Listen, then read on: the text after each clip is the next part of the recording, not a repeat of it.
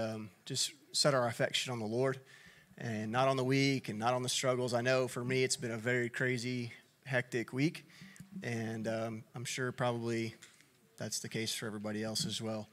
So it's time that, uh, to stop those thoughts and pressures and stresses and all those things that are going on in our life and, and really begin to isolate our hearts back unto Jesus just for a minute. And sometimes it takes a, a second to get into that vein. So let's just do that and just focus our attention on Abba and uh, allow Him to pierce, penetrate our hearts so that we might be able to minister to Him appropriately. Amen. All right. Father, we just thank you for tonight. Lord, we just ask for your presence to just come in this place and move upon our hearts. And you don't do anything with just a scattered agenda. You're focused and you're precise.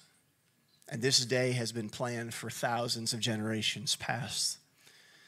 That you have brought us to this point where we are mentally, spiritually, physically, financially, geographically to be present in this moment. And Lord, we don't want to miss a thing. So, Father, we just ask that our hearts would be open to you. We ask, Lord, that, that your presence would begin to move in our hearts and that we'd be able to minister unto you in worship. And that, Lord, your word, your son, Jesus, would be manifested through the word spoken. That you would bring life into our hearts and our minds and our circumstances so that that life can bring forth fruit.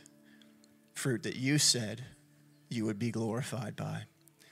So, God, we pray for increase, but not increase for ourselves, but for the nations which you long for. We know that tonight will be an extension. Our lives will be an extension into this region, Lord, that you have called us to. So we lift up your name and we thank you, Father, as we begin to praise you, as we begin to set our affection upon you, and as we begin to worship you in spirit and in truth that Lord, our hearts would begin to bless you and our mouths would begin to open. I just ask you to just begin to lift up the name of Jesus right where you're at. Just say his name. Just say his name. Invite the holy, the holy presence of the Lord. Just lift up the name of Jesus. We thank you, Father, for your love. We thank you for your blessing. We thank you, Father, for your truth. We thank you for your power. We thank you, Father, for your destiny that you've placed over our lives. We invite you, we worship you, we thank you. In Jesus' name, we lift up your name.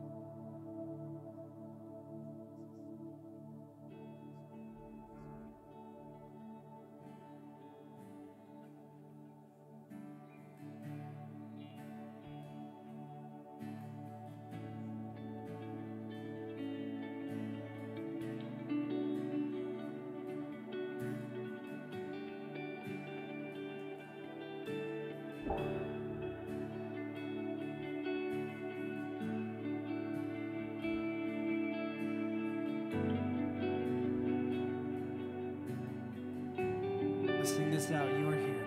You are here, moving in our midst. I worship you. I worship.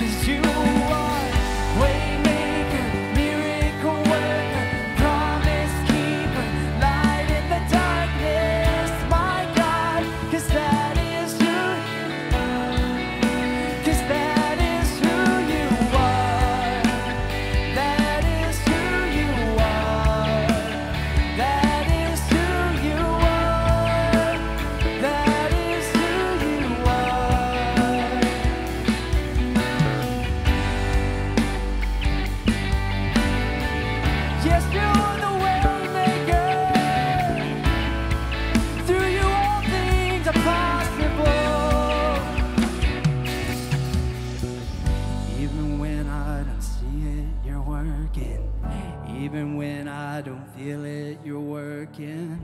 You never stop, never stop working. Never stop, never stop working. Even when I don't see it, you're working. Even when I don't feel it, you're working. Never stop, never stop working. You never stop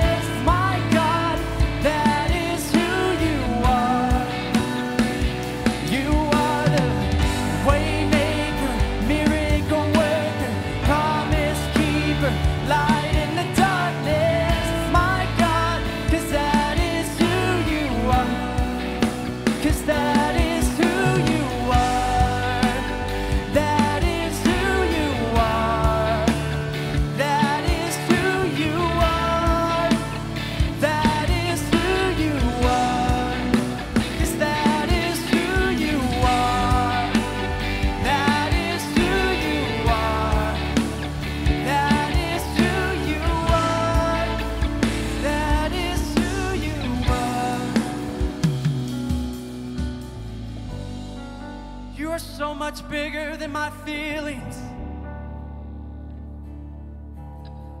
And you are so much bigger than my situations. You are so much bigger than any mountain in my way. And you said if I had the faith of a mustard seed, that I could tell it to move. But only with you, Jesus. Only with you, Jesus. I can't do it without you, Jesus.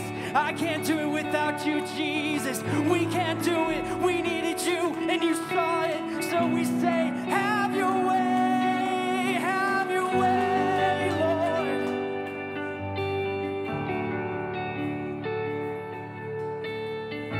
We're gonna go back into that bridge, even when I don't feel it, even when I don't see it, and we're really gonna sing it. Tonight's the night.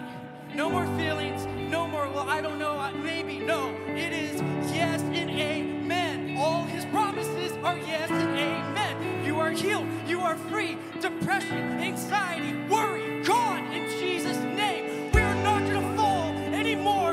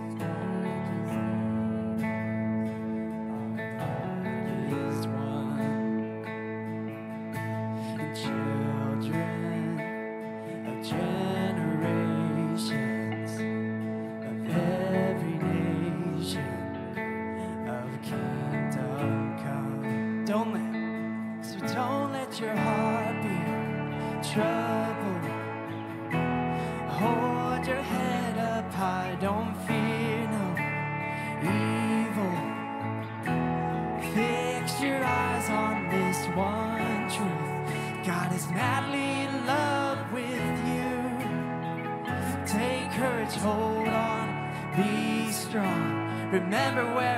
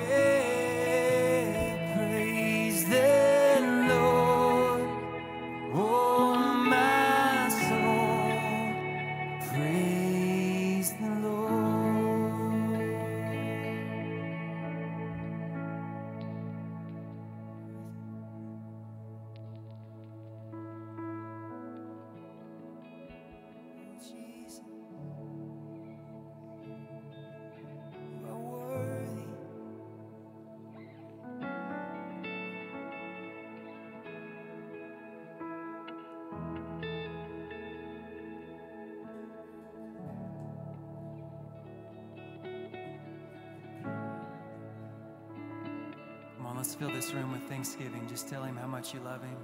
Tell him you thank you thank you for your blood, Jesus. Thank you for giving us the gift of the Holy Spirit.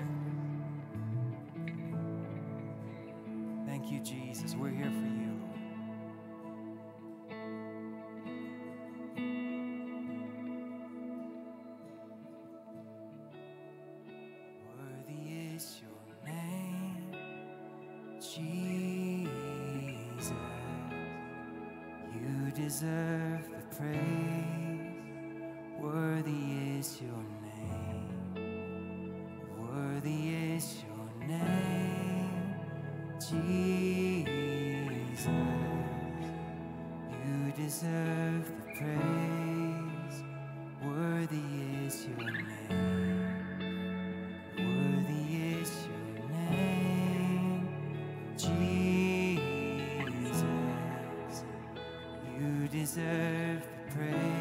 on, let your heart cry, Worthy is your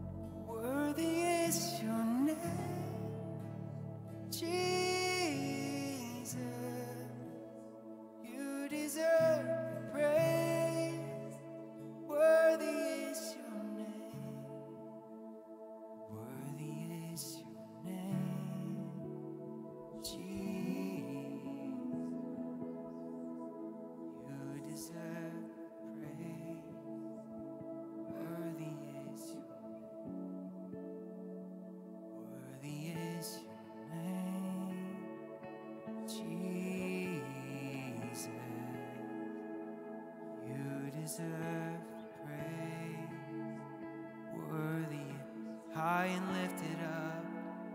Worthy is your name, Jesus. Being thrown on our praise, you deserve praise. Worthy is your name.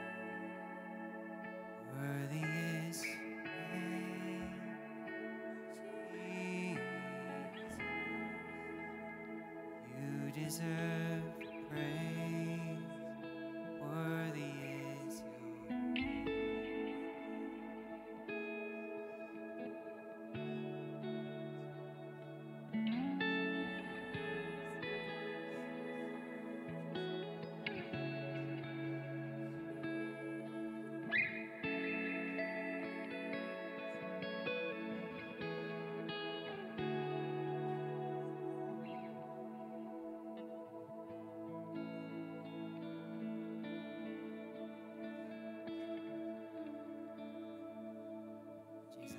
love you. We honor you.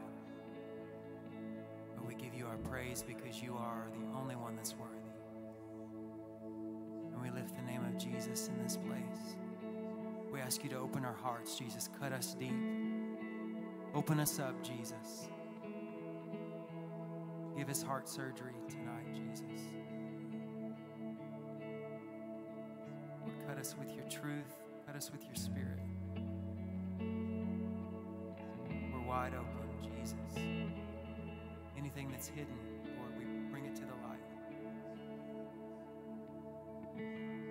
us hear from you.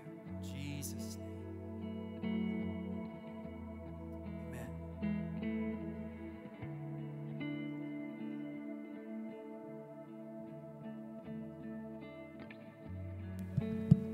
Amen. Thank you guys so much. Father, we bless you. We thank you for the opportunity to be part of your body. That great cost that you incurred to bring us home. May we never grow hard or callous to that, Father. We thank you that we can call you our Father through your precious Son, Jesus Christ. We lift him up. And we thank you, Lord, for your grace that you've given us. Make our hearts tender. We might see you, we might know you. We might pray like Paul prayed, that I may know him. Lord, I pray that that would rise from every heart in this place, that would continue to rise from mine. I appreciate you, Lord. And I thank you for your mercy over us. We honor you and we thank you in Jesus' name. Amen. Amen. Thank you guys. Appreciate y'all. Well, we finally made it. Amen. All right. We were talking on the way up. It's been a, been a minute, and we've been trying to get this to happen for a while. And uh, seems like there's been lots of opposition, but it doesn't matter the opposition. It matters that we overcome and that He has already overcame. Amen. So I'm happy to see all you guys, and uh, I would uh, encourage you to come back tomorrow night at six o'clock, and then if you can be with us Sunday morning at ten, um, great. If not, if you have other fellowships to attend, then we bless you, and um, you know, may the Lord increase you there. If you have children and they're, um, if you want to have childcare, I believe we have that in the back. Is that right? Is that true? Yes. Okay.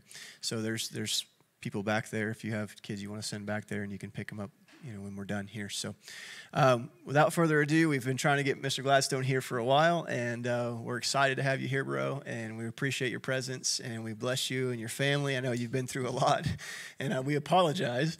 Uh, somewhat the last four or five times we've had him here, it seems like not only uh, did the enemy hammer us, but hammered him. So I feel a little bit responsible, even though I'm not. Uh, I still feel the need to apologize because uh, it seems like every time um, he does come, there is some sort of a, a breakthrough, and we appreciate that, and, and we'll take whatever the Lord's given us this time. So come on, bro, welcome. Bless you. Hey, everybody. Good evening. How are you? It's great to be with you. Feels like a long, winding road that finally got me here, but my wife, Gina, and I deeply appreciate your prayers during this difficult time that we've been having. And we wanted to just make sure you understood that, that we're grateful. I know that you were praying for us and you were also patient for this, uh, this time to be together because we had to cancel twice. And it's still a battle, but I made it here this time. So thank the Lord for that, but thank you guys for praying and asking the Lord to help and to heal and to intervene. So thank you guys very much. Amen. That's all I had for you tonight. Let's close in prayer. I'm just kidding. You can you can turn to uh, Matthew chapter 11. That's the text of scripture that I feel to speak from tonight. And this is quite a tall pulpit I found. I don't know if I spoke from this pulpit last time. Where's Chad? Is Chad here? Is it a new one? Yeah, this is a tall guy pulpit. The angle's a little different. I'm too short for it, but maybe that should be the attitude of preachers. We're not the guy, we point to the guy. Amen. So, Matthew chapter 11. Actually, let's begin near the end of the chapter. This is going to be my main text at the very end, but we're going to go back and give it context a little later. We'll begin in Matthew 11 28. Okay, so that's the verse we'll begin with. It's a well known passage when Jesus says, Come to me, all of you who are weary and heavy laden. We'll, we'll get to that in a moment. The themes that are rolling around in my heart for you have to do with the power of God's word to bring restoration to our souls, to transform us into the image of Jesus Christ. Okay, those are the themes that I'm going to speak about uh, based on these texts and some of my own reflections during a period of time when I badly needed restoration. So that's the way I'm going to, to speak tonight. I'm going to reflect on the message of God's word as well as the way that it applies to our lives practically, particularly during a time of my own wilderness where I got a little extra time to ponder these very issues. Specifically, being confronted with my own need for growth areas of immaturity and less than Christ like reactions at times. There was no escaping it. And I had to invite the word of the Lord into those areas of my soul where I was entertaining immaturity. Oh, yeah, you. Can you lift it up a little higher than this one? I want to be more hidden, not less. Oh, this was this was going to be fine, bro. I'm so sorry, but this is great. I'm so sorry, Chad. I didn't know you were doing that. We'll we'll keep this one. I like the I like the protection feeling and the uh, humbling feeling that I seem to have gotten smaller since the last time I was here, and I I want to maintain that feeling because that is the way I feel. I've gotten smaller uh, since I've been here last. I don't think it's because I'm older and I'm starting to shrink. I think it's rather because I pray in Jesus' name that He is increasing, I am decreasing. That's my prayer.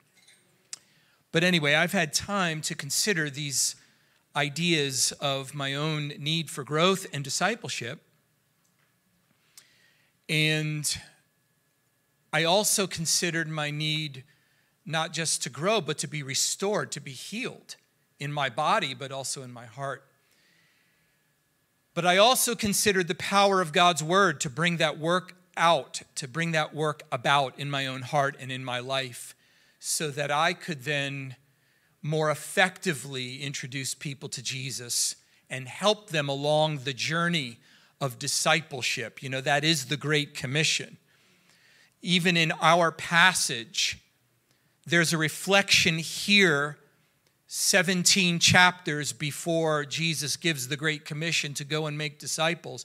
This is like a precursor Great Commission right here in this passage. It's like an early version where he says in verse 28, and we can read it now. He says, Come to me. Come to me, all of you who are weary and heavily burdened, and I will give you rest. Take my yoke upon you and learn from me, because I am meek and humble of heart, and you will find rest for your souls. For my yoke is easy and my burden is light. So the invitation Jesus gives us is very sweet. It's very welcoming. He's offering life. And he uses this, this metaphor, and it's more than a metaphor, it's a real experience, but it's still connected with the metaphor of the Sabbath, of entering into God's rest, not only enjoying a day where we take off and we trust God so that we can rest and focus on Him, but also that's an experience where our souls have entered rest. Sabbath represents a true and deep rest for the soul because we've given ourselves into God's hands and He, he takes care of us so we don't have to stress over life's ultimate issues. We don't have to stress over death or provision or what will come of my destiny or what happens when people wrong me. Will I lose my inheritance? The Lord's like, no, I protect all of these things. If, if, if you come into faith, a living, dynamic, and growing faith in me, you enter rest. So Jesus is offering rest, Sabbath, absolute prosperity of soul, where shalom rules our homes. And God is blessing our lives, our bodies, our minds, our relationships, everything about us. He, he's blessing it with His supernatural presence and glory because we've submitted to the yoke of his son. We've submitted to the lordship of Jesus. And the evidence of God is in our souls and in our homes in powerful ways. That's rest. That's Sabbath. That's the abundant divine life that God offers all who believe. Amen. Amen. This is a sweet invitation into which Jesus invites us. There's a gentleness. Of course, he uses the word gentle or meek when he offers this invitation, but there's a gentleness and a sweetness to what he's saying. There's, there's a loving invitation. He's not, he's not hammering us because we've messed up over and over and over again. He actually recognizes, yes, we are guilty of sin. And we'll see that from the context. He's not bypassing that. He's not fancy footing around this reality that we are sinners and we are guilty and we are violators and we need forgiveness. But He will offer that forgiveness as a free gift when we yield our lives to Him. So He's emphasizing that blessing that comes as a result. And again, as we look at the context, we'll see a strong call to repentance and a strong confrontation against sin. But we're not just violators. And when I say we, I'm talking about human beings, especially those, I guess, at this stage of my message. Jesus is addressing those who've not yet repented. He's giving the invitation to repent. So, those people who have not yet given their lives to the Lord, they are transgressors of the law and they need to be forgiven. They need the gift of salvation. But not only when we're in that state are we violators, or even as Christians, when we sin, we need forgiveness, right? But sin does not just make us guilty, sin also makes us victims of its painful demonic tyranny. The devil and the powers of sin want to harm people and suck the life out of them and take advantage of them and exploit them and, and, and, and exhaust them. And Jesus is recognizing this element here. So he says, if all that applies to you, come to me. If you're burdened by the weight of sin, if you're burdened by the weight of this life, come to me and I will give you rest. And, and when he says come to me, what he means is repent, turn fully, take my yoke on you. That means fully repent, yield your life to me. Turn away from a self ruled life. Turn away from these sins. Turn to me. And then he releases this Sabbath rest, this prosperity of soul. It's called revival. when there's a massive turning to God, he releases this abundant life. He promises it here. And then he says to learn from me. And that's part of what I want to focus in on because this continues to apply not only to those who come to the Lord at first, but to all of us. We are meant all the time to remain yoked to the Lord and learning from him because we still have much to learn. Even we who've given our lives to Jesus and we're doing our best to follow him, as life goes on and as this journey passes through different valleys and goes up to peaks and takes some, some surprising twists and turns, sometimes we come into a new season where we find out, well, the Lord is dealing with me on some character issues. So Jesus says, Come back to me. Or come to me on that issue. Maybe you haven't left me at all, but now we're in a new season and I'm highlighting some things in your life that need just like this brother prayed, which was perfect. This was in my notes the last time I preached this message, which sounds nothing like the way I'm preaching it now, but anyway. Lord, do surgery on us. Cut us with your truth and with your spirit. That was the perfect prayer, very confirming to me, because that's exactly the way I've been praying for weeks and months. Lord, I see what's wrong in me right now, at least the things you're showing me. Okay, I'm not talking about God browbeating me or condemning me. There was nothing like that. But man, was he shining light and convicting me. And I'm like, Lord, I'm wrong. And this is like a way in me that's not right. Do your surgery. Cut me with your word. I don't want to read the Bible to cherry pick just for a little encouragement now and then, though it does serve that purpose. Or certainly, I don't want to read my Bible just to give me support for some of my pet peeves as preachers often say, I don't want to just read my Bible, I want my Bible to read me. I want to be submitted to the Word of God and I want to learn.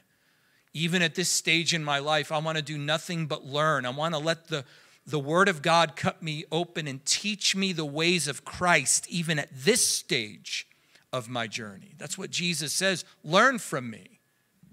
Learn from me. And here's why he says, Because I'm meek and I'm humble of heart. That's the goal of discipleship. The character of Jesus Christ, the King. And this is one of those moments when he unveils his heart. A brother in our church quoted an author that I wish I could quote, but I forget who it was. And he just bought the book, so maybe I could give that information. I didn't read it, I can't recommend it or not recommend it, but the point is, I didn't, I didn't observe this thought myself. This comes from this author through this brother who texted me, okay, like you need to know all that. But he said, he said that this is the one time Jesus speaks of his own heart this way. I'm meek and humble of heart. I'm showing you, I'm telling you what my heart is like. Now, anything Jesus says reveals his heart, even if he's not using the terminology. We understand that. Jesus' heart is full of love, it's full of purity. I mean, everything he says expresses his heart. If there's anyone who's not fake, it's Jesus Christ. If there's anyone who's transparent, if there's anyone who is not trying to calculate his words, so he comes off a certain way because it's not really who he is. So he wants to manipulate you so that you get the idea he's super spiritual. He's a good guy. He's got to say the right thing, but in his heart, he's hiding all kinds of selfishness and perversions or lies or jealousies. He's nothing like that. What you see, what you hear, that's exactly who he is from and unto all eternity. Jesus is absolutely innocent and pure. So whenever he speaks, he reveals his heart. But this seems to be the only time, perhaps the one of the only few times, where he uses the terminology that draws attention to the core of who he really is, the center, the interior, the essence of who Jesus is. Here's the way he describes himself. Meek and humble. That's the goal of learning from Jesus. That's what people who learn, that's what people who are discipled by Jesus, that's the goal. That's what they're like. They become meek, no agenda except for God's. No pressure to perform, no calculating how they're going to come across. Don't be offended if I say something that homosexuality is a sin. Uh, uh, let me put it a certain way. We welcome everybody. Yes, of course we welcome everybody, but do you have to calculate so the world will accept you? Is that the way we're communicating? Can't the presence and power of the Spirit anoint the truth? Jesus had none of that. Meekness means no agenda, which means I don't have to push anything in my flesh. I don't have to make anything happen. I don't have to lie, manipulate. Real quick, you know, do the the breath so I don't smell bad kind of thing. Like I've been doing something in secret. I don't have to hide and do things all alone. I can be out in the light. Right? No agenda, no need to push, to manipulate. Meekness, the character of Christ that's the goal of discipleship. That's the goal of learning from him. Am I pacing too much for this camera angle? Thumbs up means yes, I am, or I'm okay.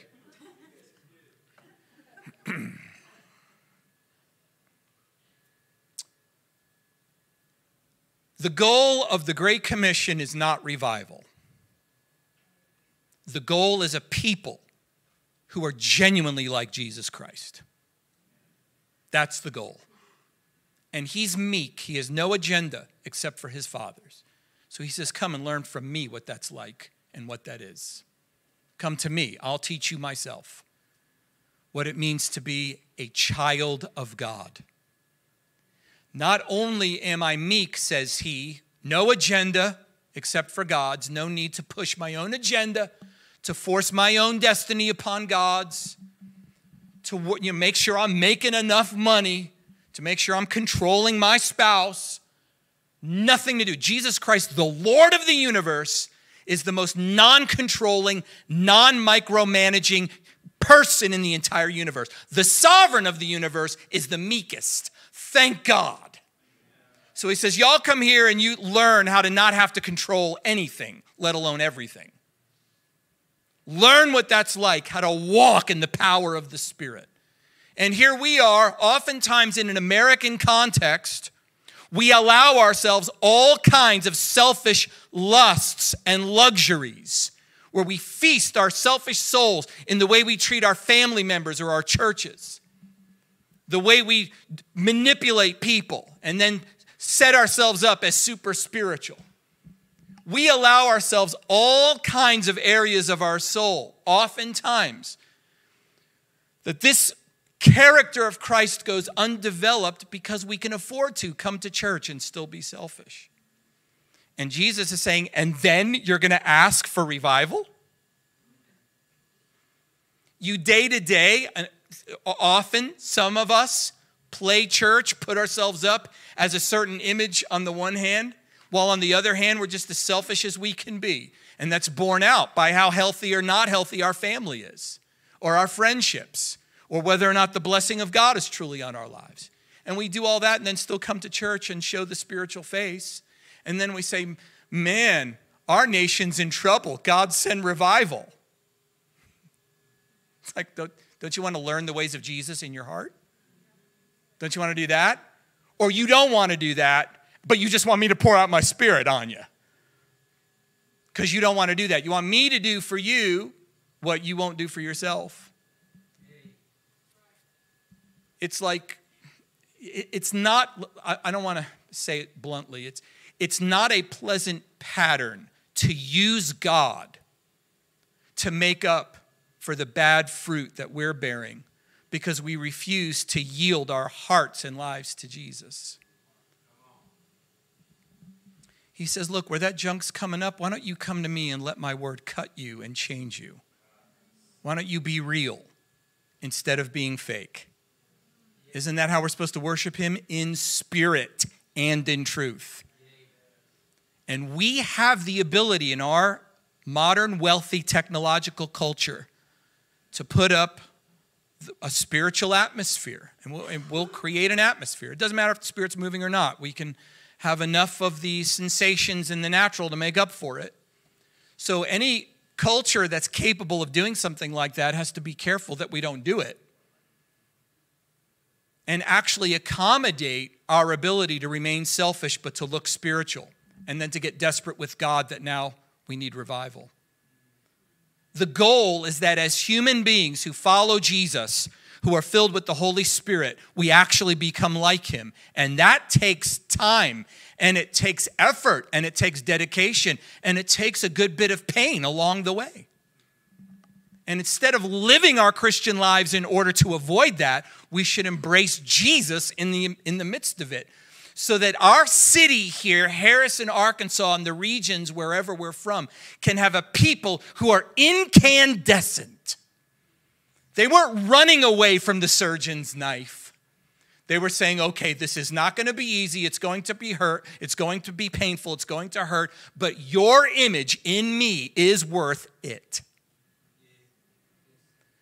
The sign that someone is an actual disciple who is being developed and becoming more and more conformed to the image of the Son is that he or she is meek, without agenda, without need to push one's own agenda, and humble in heart. And it's a beautiful way Jesus puts it. In my heart, I'm humble.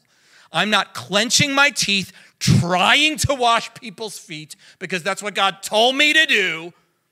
That's what dad told me to do, so I'm just going to do it.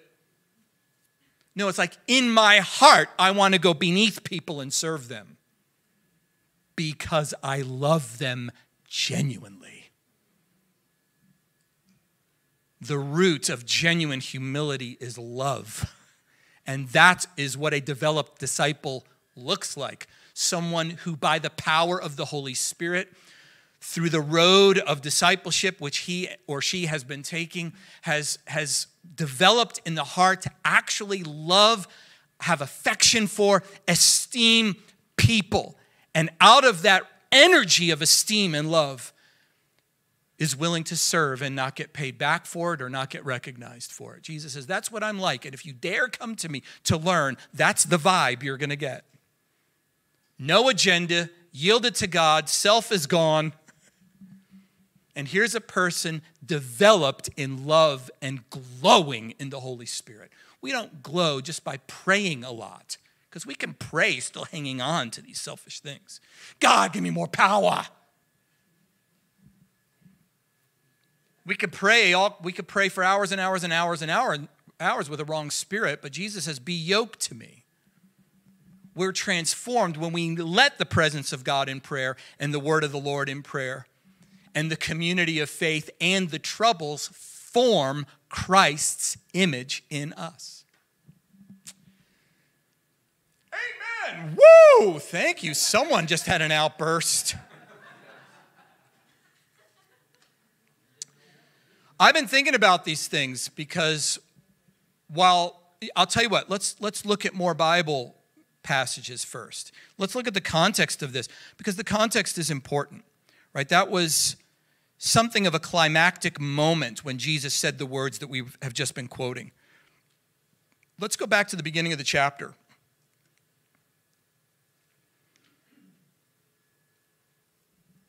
Let's put this in context, okay? I'm going to refer to the previous chapter. We're not going to read any of chapter 10. But for the past several chapters, chapters 8 through 10 in Matthew's gospel, Jesus has been on a Holy Ghost run. Chapters 8 and 9 10 miracles in a row. Cleansing a leper, walking on the water. Was that, is that in this passage? I don't think he walked on the water at this point. Way to go, Bob. Raising the dead, healing someone who touches his cloak. 10 miracles in a row, interspersed with discipleship teachings. Let me tell you about the expectations of people who are seeing now this young, vibrant teacher who was enthralling the crowds with sermons that are like nothing they've ever heard. This rabbi speaking with completely supernatural authority. He just is a paragon of dominion and peace. And not only that, now he's raising the dead, he's cleansing lepers. I mean, lepers had to live outside the camp or the city in their own colony so they don't infect anyone else because they're unclean. And not only are they unclean in body, but it makes them feel at least, if, if not something else, unclean of soul and socially an outcast. And Jesus touches the man, which was illegal. And his skin smooths right out, looks perfect. Jesus said, Go testify to the priest. Something's up. This man has power lepers cleansed, dead raised. Women who didn't even ask for prayer, just touched his garment. Pow, he felt the lightning come out of him. What do you think this politically charged culture in Jesus' day is now expecting? He's going to go to Jerusalem and take his throne. This is the one, this is the king. Most of this culture, most of it was poor and hurting and oppressed by the religious and by the political. Most. They were crying out desperately for the Messiah to bring them back their golden age of David and reestablish the kingdom and the blessing of God. And here's a man who's speaking like no other man, and power is oozing off of him more than Elisha, more than Elijah. Rivaling rivaling, rivaling, rivaling, rivaling perhaps Moses. I say perhaps because, you know, it's just from people's perspective. We know he more than rivals Moses. He, did, uh, he doesn't have to split a sea. Come on, just walks right on it. So, what's our conclusion? What do we expect? Well, we expect him to be the son of David and to take the throne to gather a militia and march on Rome. No rhyme intended. That's what we expect. That's the way chapter of course Jesus then commissions his disciples in chapter 10 to go do the same ministry he did. And he gives these warnings so the hints are there. But still we're meant to read the narrative thinking well there's got to be some kind of momentum rising in, in people's minds in terms of their expectations of what Jesus is about to do. Surely Jesus is about to bring a kind of deliverance that we feel we need. Do you see, hear where I'm going with this? I mean, this is a well spoken man. We feel God when he speaks. He's, he's miraculous. I mean, he's invincible. I mean, crowds of people are being healed by him. Multitudes. No one comes who's who leaves unhealed. So, this is the king. This is God's chosen. Talk about an anointing. Wow, we didn't expect that. He's got more than what we thought. Then, chapter 11, when Jesus had finished giving instructions to his 12 disciples, he went on from there to teach and preach in their cities. Now, while in prison, John heard about the works of Christ, and he sent word by his disciples and said to him, are you the coming one, or are we to look for someone else?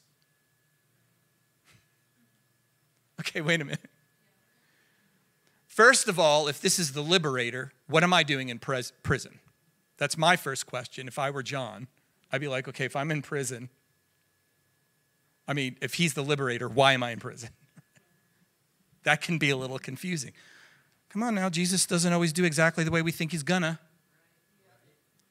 The, my second observation is when John asks, Are you the coming one? Or are we supposed to look for someone else? My response would be if, if I'm a cold outsider to, to human feelings, I would say, Aren't you the forerunner, John? Did I miss something? But isn't your entire life predicated upon knowing who the coming one is? Isn't your sole objective on the earth to point to this man and say he's the one? And now you're asking, are you the one or not? And remember the way you preached before? I must decrease, he must increase. I rejoice to hear the voice of the bridegroom. Remember, I'm a cold outsider. John was under the kind of duress that we can sympathize with him. Can't we? But if we're unfeeling and detached, we could say, John, what are you talking about? You said, God showed you the one upon whom the Spirit comes and remains. He's the one. And you saw that and you pointed it out. You said God said this and God said that. And, you know, you, you, you stayed the course. You continued to point to Jesus. You sent other disciples to Jesus. You continued to preach holiness. You got thrown into jail for it. You're very courageous. How could you possibly be questioning? Because sometimes when our expectations are dashed, there are areas of our hearts that get exposed and it gets squeezed out and it finds expression, and that's when it has to be dealt with. I don't blame John, I don't mock him. Jesus calls him in this passage the greatest of all prophets. But from a cold outsider's point of view, we might say, your whole ministry, your whole life was meant to point to this man. How are you possibly questioning this now? Because he was under duress. Jesus was not yet politically setting anything up. And his forerunner was going to die in this prison. Sometimes Jesus just takes a path that we didn't expect, and you know what? We didn't even want it. And that's the time things get exposed where we have to say, okay, Lord, that wasn't a very good reaction. Help me, what? Teach me there your word. You see what I'm saying? Jesus responds in verse 4. He answered and said to them, and of course, these are John's emissaries because he's in prison. He had to send messengers go and report to John what you hear and see. The blind receive sight, the, the lame walk, those with leprosy are cleansed, and those who are deaf hear, the dead are raised, and the poor have the gospel preached to them. And happy is every person who does not take offense at me. This is Matthew 11, where am I? Do you guys have it up there, verse 6? There it is. And that, that's, a, that's a more popular way or well known way of, of quoting it. Blessed is he who is not offended because of me, or blessed is he who does not stumble over me. So Jesus sometimes goes zig when we think he's going to zag. We think he's going to do X, Y, and Z. I thought, I thought after all this prayer, I thought after I, after I obeyed that instruction for you, or I thought after I gave up so and so that I was going to get to marry this person, and I thought this and I thought that. And, and the, the Lord Jesus says, Well, happy is the one who does not stumble over the way I operate versus the way you want me to operate. Because it's going to happen. Now, not for one second do I say that my sickness that I had suffered from on and off in March, but definitely through April all the way uh, through May, um, and then, then aftershocks to this day. I don't say that's from the Lord. Jesus is a healer, He doesn't send sickness on His people. We should believe for healing. But the, the best terminology I can use is He allowed it, it happened. And it really uh, put me on my back for several, well, for several weeks at the worst. And then still having to manage for um, just regular life. Everything is different. I just have to manage until the strength, God willing, comes back. I'm not saying that part is from the Lord, but I am saying this is the road I'm on right now. And it messed with my head, man. I believe in a healing God. I've seen miracles and healing, and I expect to see more. I have more of a burden for it now. I want to see people restored. During this time, I had an interpersonal situation occur just before actually the sickness happened. So I have this challenge of this situation. Obviously, I have to keep it general. I'm not going to give details. But it was a very difficult relational, ministerial situation where my heart was tempted to take offense and react. And I did.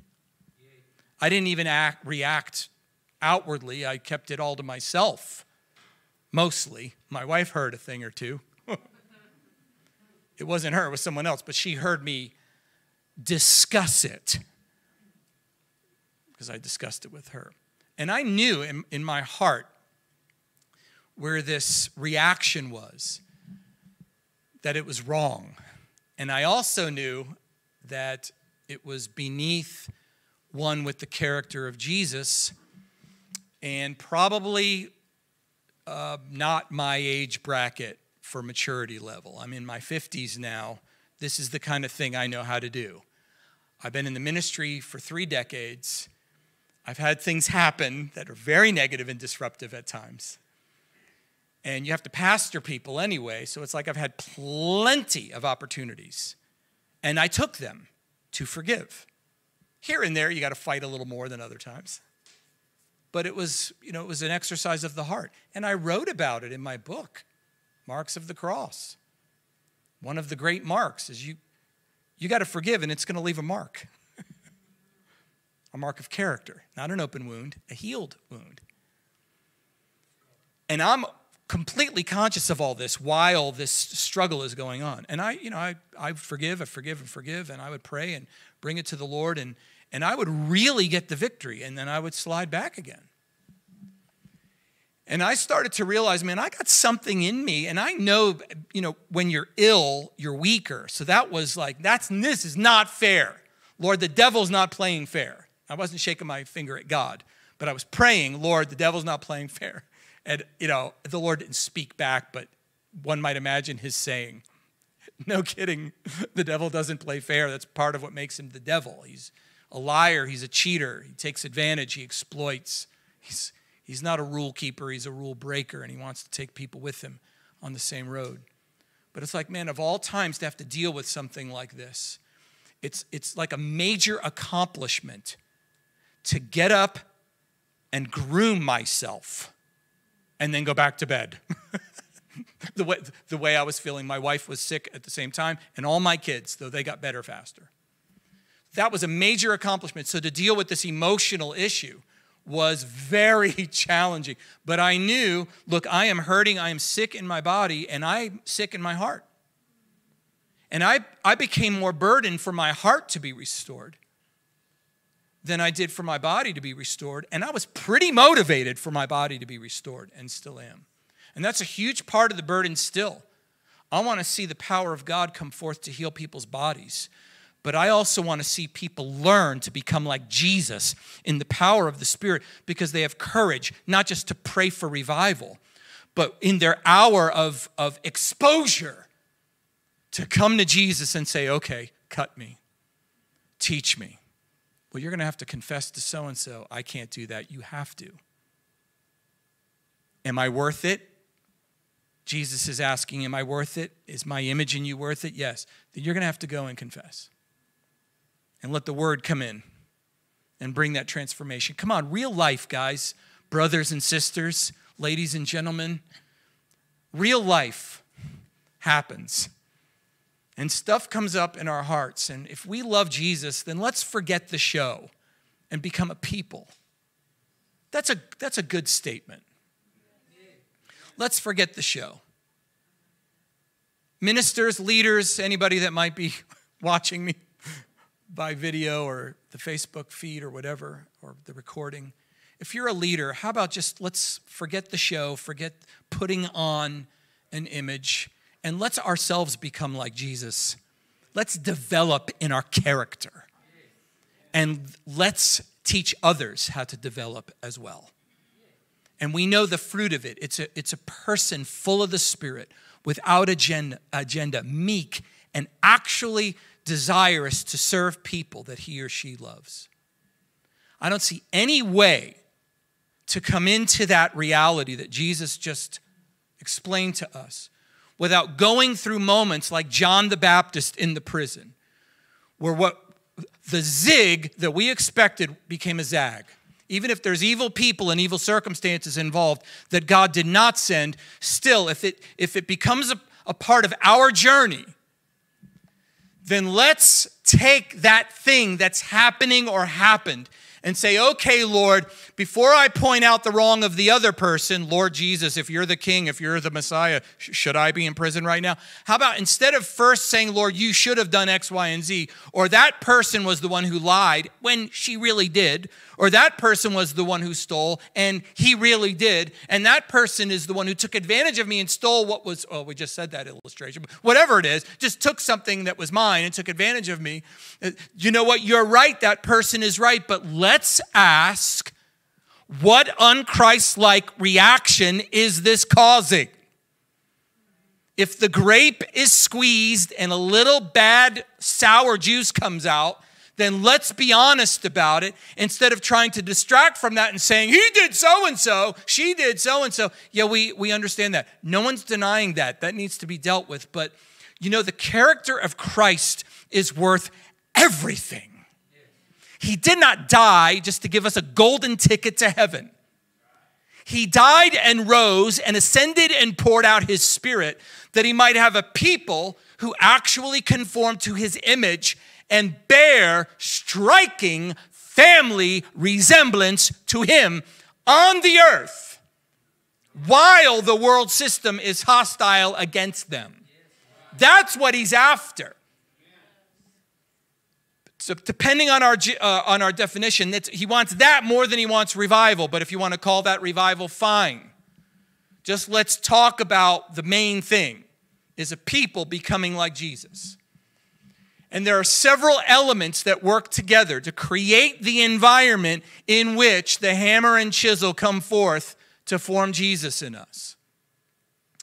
And one of them is, or let's say the, these circumstances are those circumstances that are contrary, that are difficult, that cause pain, that even at first might cause confusion, that push us and pressure us in ways we did not expect, those are the times God is saying, okay, your heart is being exposed right now.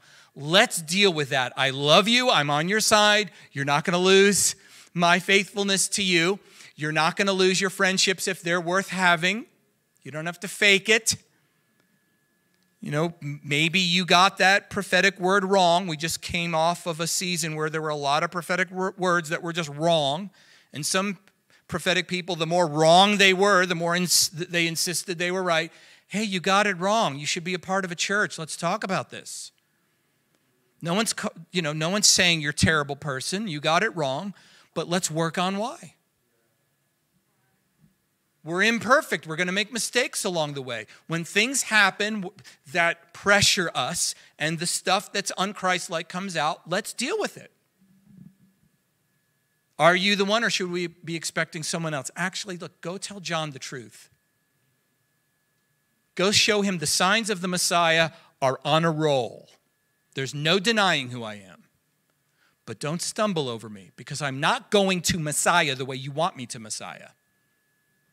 I'm not going to rule the world. I'm not going to rule your life. I'm not going to do it your way. I'm going to do it my way. That's what makes me king. Right? Happy is the one who does not stumble over me. When we get to those moments where we stumble, something comes up, let's deal with it because God's goal is to make us like Jesus, not always keep us out of prison. Ugh, that's a that's a painful one, but that, that's in the that's in the story. Right? So that's one of the things that happens to develop Christ in us is and, these are the moments that invite the word of the Lord to come into our souls to change us. It's those pressure times when we're mistreated by people or circumstances occur that we did not expect, or we did expect the opposite, or some version thereof. Those things that then come up out of our reactions, if there's jealousy, if there's anger, if there's an offense, that's a big one. Jesus even uses the language here. The idea of stumbling is often translated as you see on the screen there don't be offended by me. Offense with him or anyone else, that's often a sign okay, there's something in your heart that has to be fixed something there. Let's work on that because that's what we're about here. It's not you always looking perfect. It's you're growing just like the rest of us. Come on.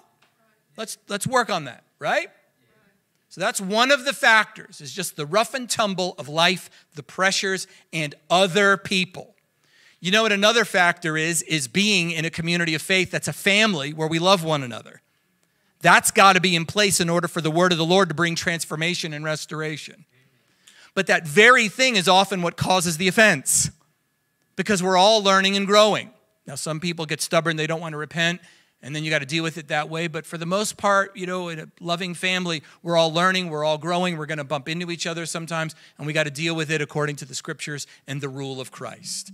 The very environment, and we'll, we'll talk about it a little more in a moment, but the very environment that's needed for us to develop in a positive way is sometimes, sometimes what provides the negatives that expose our hearts. So, whatever situation like I was dealing with while I was sick, which already I'm not feeling great about myself being so sick for so long. Yay, Shandai, God's man of faith and power. I'm not saying I tried to put on that show, but still it messed with my head that I'm so sick for so long. During that time when I'm dealing with these personal things and fighting through it in my heart, I went over the narrative of that story, that situation, too much. And I would point out in my own mind how this was wrong and that was wrong, and you said this, but you didn't do it, and that was wrong. And, and I imagined scenarios where I was speaking my piece and one day the Spirit spoke to my heart and said, You're exalting yourself. The fact that you're right in that scenario, but he was wrong or she was wrong in that scenario, does not change the fact that what is manifesting right now just doesn't smell very good. And my first concern is not to give you justice in this life, right? God, I could imagine his saying. My first concern is not to give you justice in this life. The day of resurrection is coming when all will be vindicated. Don't you believe that? Is that not meaningful to you? Yeah, it is, but, you know, theologically it is, but not really, if we're honest. The Lord's like some things, some I's will not be dotted, and some T's will not be crossed until that day.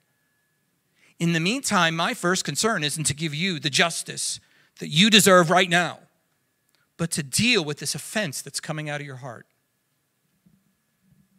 Paul told the Corinthians who were suing one another because there were disputes and lawsuits in their church. And Paul's like, You're going to the unsaved judges to settle your disputes? You've already lost your case. He says, You're better off being wronged and defrauded, getting ripped off, and acting like Jesus than keeping your stuff and winning your lawsuit and destroying your testimony in the city. So God's working on our character through all these difficulties. And the Lord told me, You're exalting yourself, man. Just imagining those things, that's pride. You want to have the upper hand. And you're, you feel vindicated because you know you're right. But the way you're expressing your rightness is completely wrong. It's like I might be able to argue those folks well in my mind, but I can't argue God very well. So I really needed the word to come in me and say, okay, Lord, this, this shouldn't be this long of a struggle. What's inside of me? And the Lord dealt with me on the inside so I could completely forgive, not just forcefully forgive, but like my heart got filled with affection and blessing and release and victory. And it's like, okay, now I feel whole. And I feel stronger and I, like I have a little bit more character than I did before. So I'll tell you this I'm not talking about the sickness, but some of the other situations, I can look back and say, well, then it was worth it. It was worth it to have more of Christ expressed in and through me. But man, when, when you're really feeling that frustration and that sense of injustice, it's it's not like the first emotion to think like yeah i just want to be more like jesus. Do what you need to do. It's not easy in those moments especially in certain situations. When certain things converge on you it's like no. It's it's like not immediately emotionally worth it to become like jesus but in the end that's the one goal. Further context of Jesus' call for us to come to him and learn. Uh, he goes on and talks about John the Baptist. In verse 20, let's pick it up there, okay?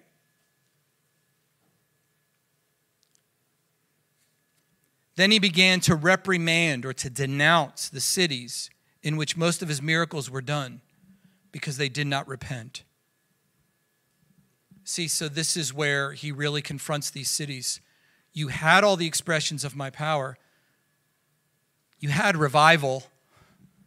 I mean, this was the Son of God operating in the Spirit of God, signs and wonders. But the people never gave their lives to God and committed themselves to be discipled.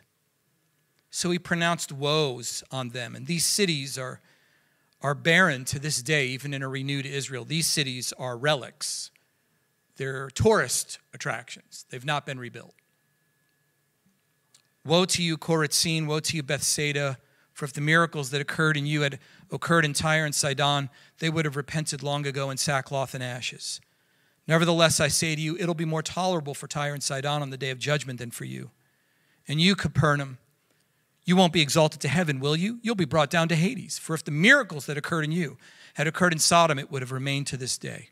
Nevertheless, I say to you that it will be more tolerable for the land of Sodom on the day of judgment than for you. Listen, sometimes miracles can occur and we don't let God into our hearts. We just want Him in our environment or our experience to bless us. But it's possible to have the disparity of miracles on the one hand, but a lack of repentance on the other. This is why Jesus says later, Come to me, after He pronounces these woes on cities that refuse to repent. He then spoke to all the people, whoever would listen Come to me, I'm not done yet. These cities are making really bad choices, but you don't have to make that choice. You can come to me and take my yoke. That's the second ingredient of really allowing the word of the Lord to come in and bring transformation. Yield to Jesus. Said another way, repent. He says, Come to me, take my yoke. There's no way the word can heal us if we don't first listen to it to convict us that we would just surrender to Jesus to begin with. And sometimes even Christians who've surrendered enough to be saved won't surrender their lives to the Lord in this or that situation. And the word of the Lord can't get into our hearts to bring transformation if we don't first pledge our lives just to belong to Him. Lord, I'm yours, I'm not my own. And at times when it's like a tug of war between the two, I give up, I yield to you. Do what you need to do. Your way in this situation is not to promote myself, to vindicate myself, to argue my point. Your way is to yield to you, to give blessing and to give peace and let the whole thing go. That is not in my nature to do it, but Lord, I'm praying for grace. I'm coming to you because I belong to you. I don't belong to me. Come on now. Yielding to Jesus is the, is the crucial foundational element of the word of the Lord actually having a transformative effect. Listen, th- I'm telling you this on the heels of a report of many, many miracles. Miracles like this do not penetrate the human heart. They might get the attention of the human heart. These miracles might even tenderize the human heart, but ultimately, the human heart has to decide whether or not I give it all to Jesus Christ. And sometimes we have to renew that covenant surrender under new circumstances. It's not a matter for someone like that, it's not a matter of getting saved again. It's a matter of being discipled. It's like, okay, this new set of circumstances, this new pressure cooker that I find myself in is a blessing from the Lord in some ways because it's giving me occasion to yield to Jesus and to say, Yes, I was baptized. I surrendered my life to you. I swore. And now I confirm I'm yours. The psalmist said that in Psalm 119. I have sworn and confirmed that I would keep your righteous judgments. When we're baptized, we swear to God, I'm yours forever. But sometimes we go through things where we have to say, I got to keep coming to Jesus and keep bowing my neck to his gentle yoke and saying, Lord, I confirm that oath I made. I am yours and you are mine. And man, when we do that, all those pressures that were irritating us and keeping us up at night and giving us stomach aches and making us mad and making us hot, it's like, oh, that's all gone. I have rest because I've actually yielded my life to Jesus further than I had before. And how could I have ever done that if it weren't for this new set of circumstances? Praise God. That's the way we let the word of the Lord come. See, you can't get that in a revival meeting. It might happen there, that may have helped, but it doesn't, it's not automatic. This is a revival context, and Jesus said, Woe to y'all. You love the miracles, but you didn't like the point of them, which was my kingship. And when something happened for you to make some wholesome choices, you made bad choices and you called them spiritual. Now you're using me to camouflage your carnality and your selfishness. It's time for me to make a division between my people and the fakers. Many will come to me, Jesus says. Many will come to me on that day and say, Lord, Lord, didn't we prophesy in your name? And in your name cast out demons, and in your name perform many miracles. And then I will say to you, Depart from me. I never knew you, you workers of lawlessness. You didn't want your heart transformed and your character full of the Spirit. You just wanted the pizzazz and the power. And these are things we all value, but we put them all in their proper context. God wants a people who are transformed by His Word and thereby living in the abundance of the Holy Spirit. Can we talk about the abundant life of the Holy Spirit for nine moments? Not nine minutes, nine moments. Can we talk about the abundant life of the Holy Spirit for nine moments? Love, joy, peace, patience, kindness, goodness, faithfulness, gentleness, self control. I want to drop the mic. I'm not done yet. Against these things, there's no law to live under the control of the Holy Spirit, to flourish in the attributes of God. Who doesn't want to be a, around a person like that? Who has love and joy and peace and patience. And those things don't count when you're forcing yourself to do it to impress people. Sometimes we have to go through emotional moments and difficulties to get to that sweet character. So let's just understand that and go for it. I mean, Paul gave those descriptions in Galatians 5 a church under spiritual attack and needing rebuke and going through a time of false teaching and having to be radically corrected. But he says, on the other side of this, so to speak, is this flourishing life of the Spirit. Praise God, that's what the Lord is after. You know, discipleship is um, it's up and down. It's crisscrosses sometimes, right? You go through those, like I said before, peaks and valleys. I want to be a spiritual person like Galatians 5. I want to, I want, if pressure were to come, I want the juice that comes out of the grape to be sweet so that people taste it and it's good and they're like, I want to serve your Lord. to help nourish people, so to speak. It really comes from the Lord, but He works through people. I remember hearing the story of a couple of political prisoners. In the 1960s, they were imprisoned for their, uh, for, you know, one because he was a Christian and another one because he was of a different political ideology than the communist regime that was ruling. And the Christian was sharing the gospel with this other man, and the man was resistant to the gospel. He, um, you know, he didn't want religion. He didn't think that was the solution. But after some time, he said, Okay, tell me more about your king. What is he really like? And the Christian was able to say, Well, he's like me. Because this Christian had been not only telling this other man about Jesus, but he was giving up his food to give more to others who didn't have it in the prison. He was serving, he was helping, he was encouraging, he was praying. And so when the man said, What is he like? And the man, the, the Christian said, Well, he, he's like me. That was his only reference point. He's like me. And the man said, I want to give my life to your king. If he's like you, that's the kind of king I want to serve, not a dictator that put me in this prison and takes advantage of people and strips them not only of their freedom, but their personalities. I want to serve a king that makes a man like that. That's worth everything. That's the abundant life of the Spirit. When Paul preached the gospel in a new city, it issued out of a life like that. You know that? So that when people believed his gospel and then they got discipled, he didn't just bring them through a program, he said, just copy me. Okay. The other element, and I have just a couple more things to say here. In verse 28, come to me all who are weary and heavy burdened. And I mentioned this before. But there's an all. He's not just calling you and me individually, he's calling a people. And the element or the environment in which the word of the Lord can come in and actually have transformative effect is in a community of faith that actually relates to one another as family.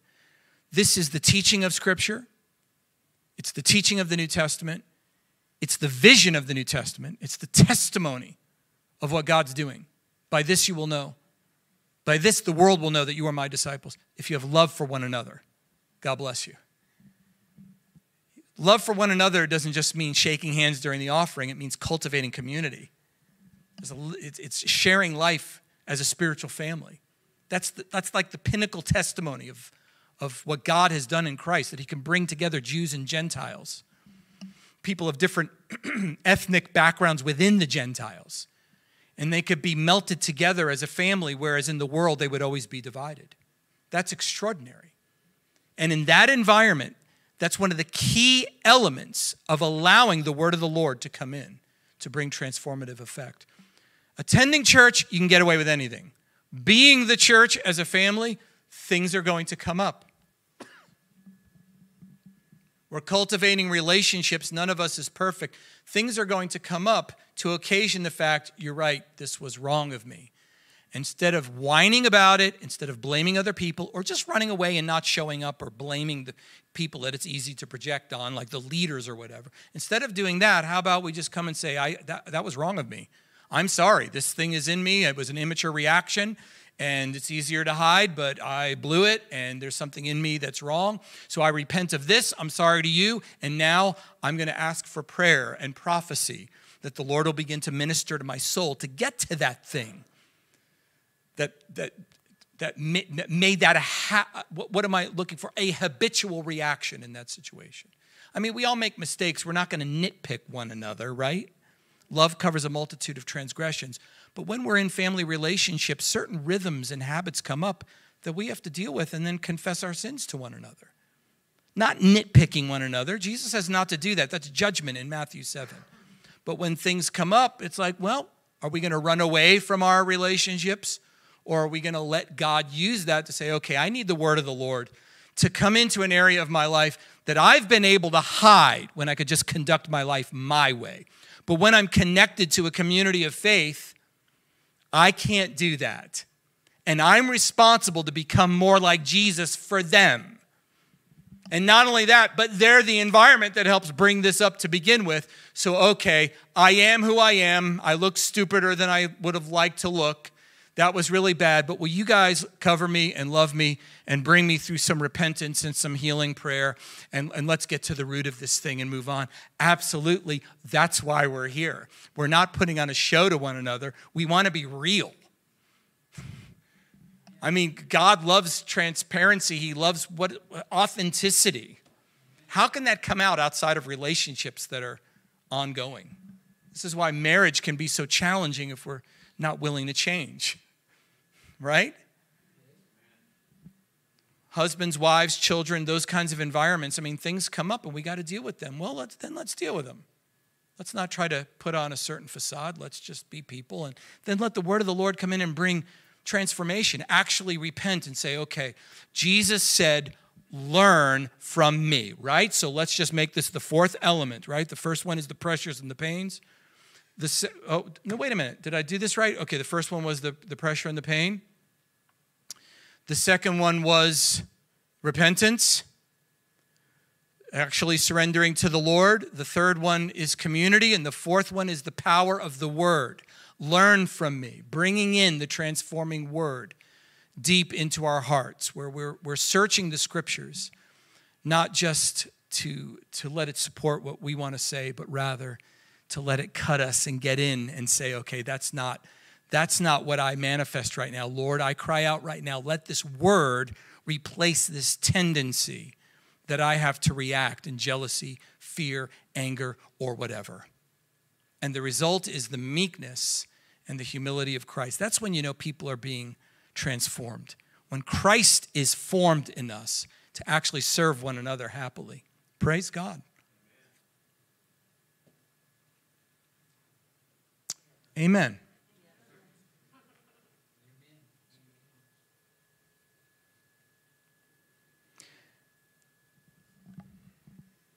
Hmm. It's a dream, though. We allow ourselves the luxury of feasting on our flesh selfishly rather than coming into the light and becoming more like Jesus. And many ministries are predicated on the ability to hide the people but still have a crowd, to hide real character issues but still have a great preacher. We have to grow up and get past that.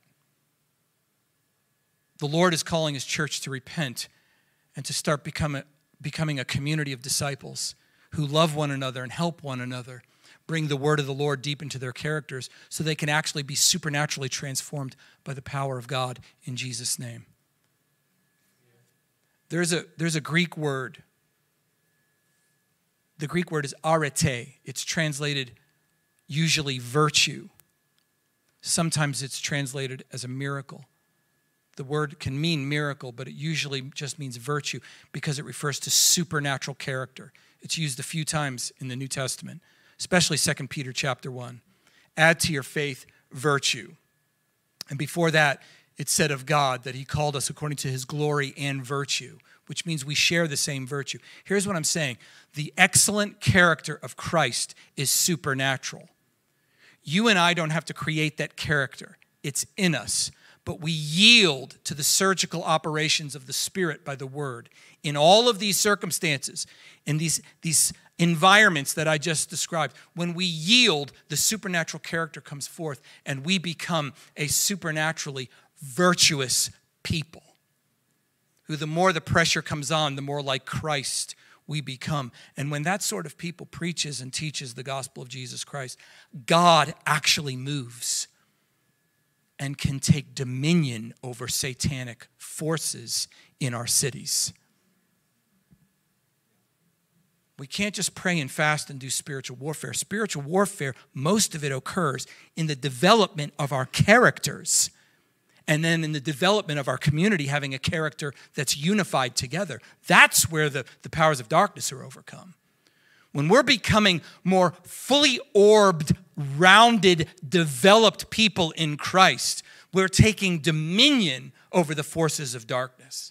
Then, when we pray and pronounce things in that growth process, man, the dominion of God comes in power and people are transformed. And witchcraft doesn't win the day over religion in its area. Jesus wins through a church that's willing to come to his yoke surrender to Him, and let the word of the Lord cut them in these different environments and form them into Jesus Christ. Praise God. Amen. Amen. Let's stand together and let me pray for you. Pray for us all.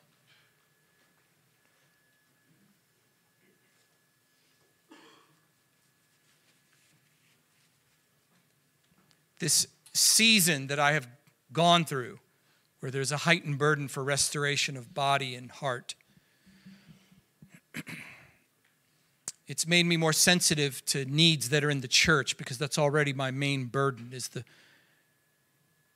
the fulfillment of the church that Jesus loves, the, the character, the glory. And it, it, it could get one frustrated, but then I realized, you know what? I'm going to do my job, let the Lord work on me and let me try to help others gently come along the same road of becoming more like Jesus together. So that's what I want for you, the church in this region, or whatever place you represent. And that's the way I'm going to pray. I'm going to pray for the Lord's help. Chad, or really anyone else that might have a suggestion that's, that's a leader or authorized, if you have anything to add or help me to do the right way, just let me know and interrupt. But right now I'm going to pray and we'll see what happens. Actually, let's pray together. Lord Jesus, we fix our eyes on you right now. Lord Jesus, we fix our eyes on you. We put our eyes on you. We see you at the right hand of the majesty on high, ruling and reigning over the whole world, over the whole universe, over angels, over evil spirits, over humans, over nations. You are King and Lord, and we fix our eyes on you. You are the Lamb of God who takes away the sins of the world. You laid down your life. Thank you for this love and this humility. Thank you for cherishing us, for loving the world so much that you gave up your own life as the sacrifice to atone for the sins of those who would believe, available to the whole world. Thank you, Lord. Our, our, our eyes are on you. You're the one we look at, the meek and humble Lamb who rules the universe. You're the one we look at. From you, we draw our inspiration. To you, we give our gratitude. To you, we give our praise, adoration, and awe. Our eyes are on you, Jesus. Lord, we pray that you'll be generous with your spirit in our hearts. Enable us, strengthen us evermore to fix our eyes on Jesus, the author and the perfecter of our faith, who for the joy set before him endured the cross, despising the shame, and has then sat down at the right hand of the majesty on high. Lord, help us to walk that same way, to love you and cherish you enough to live the same way that you lived and continue to live. Lord, shine your light on our hearts right now. Do a deep work, Lord. Do a work in us, Lord. Take us out of our heads and our escapes.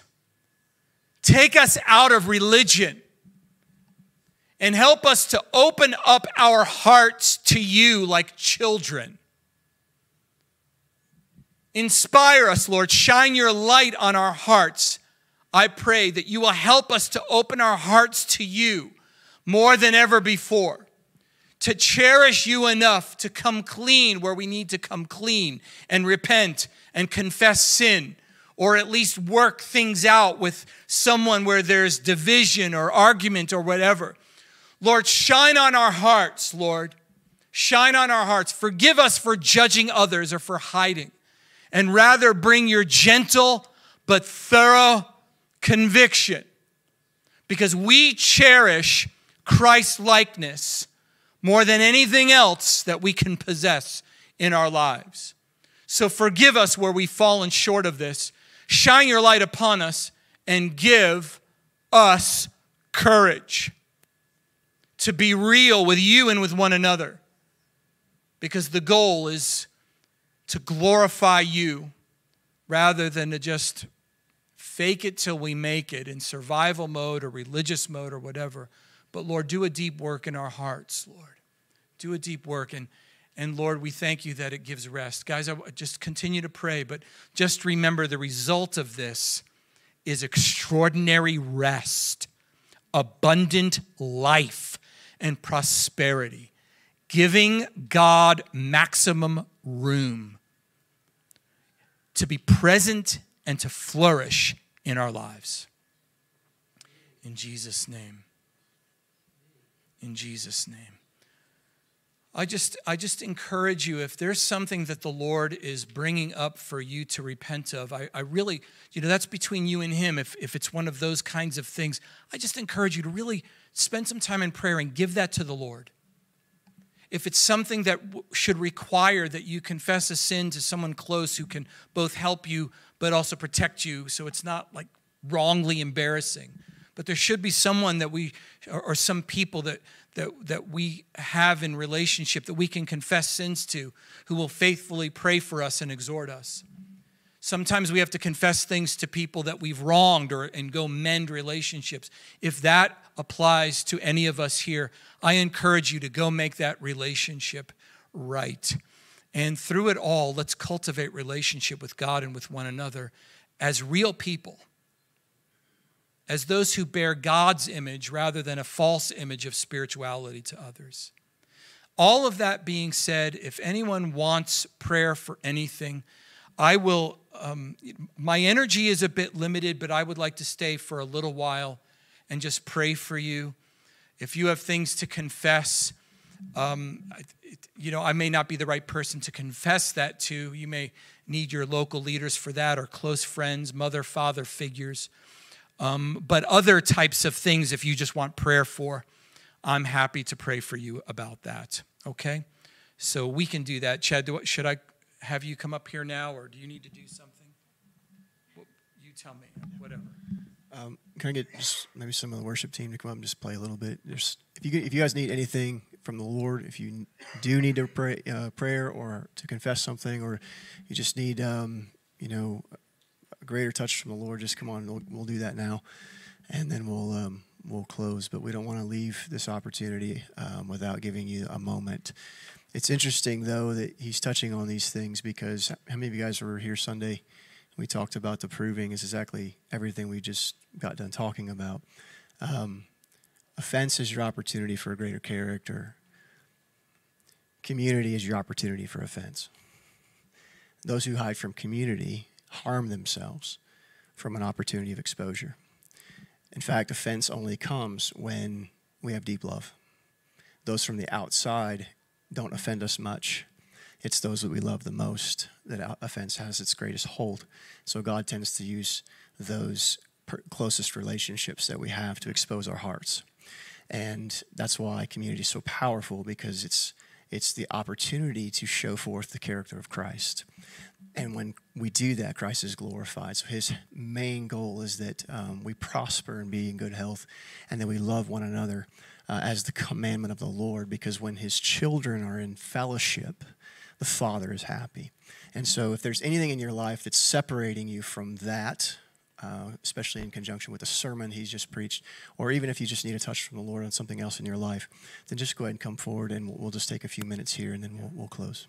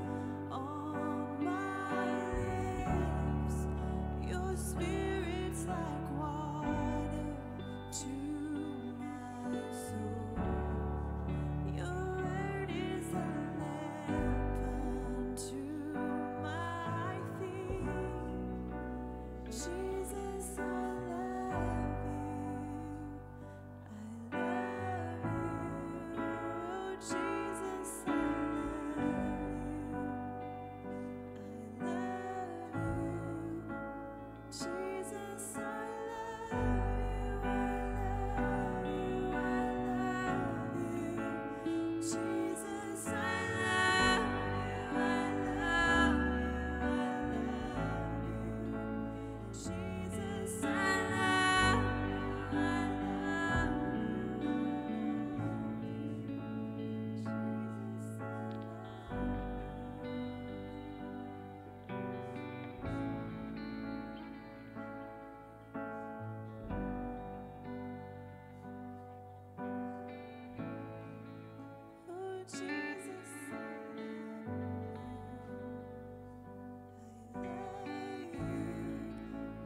Jesus, we love.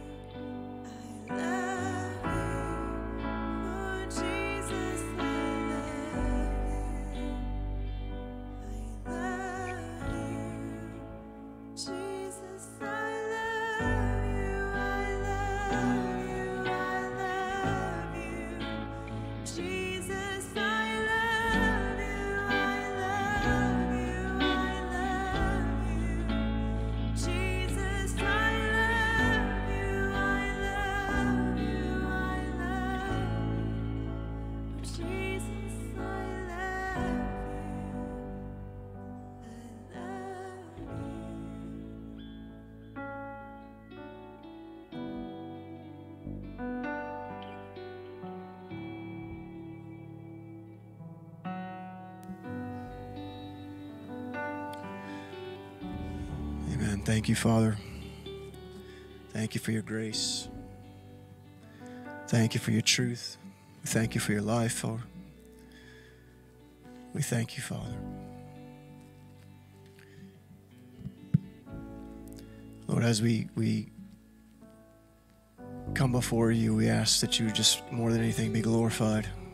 And we thank you that within the character of Christ, you're able to shine.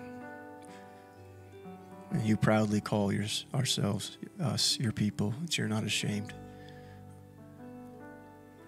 to be called our God. Father, I pray that every word that was spoken tonight that was of your heart and would be planted, Father, in soil of hungry hearts.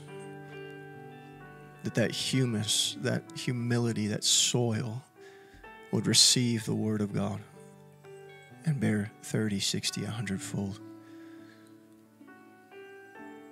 Because that humility is the nature of your Son.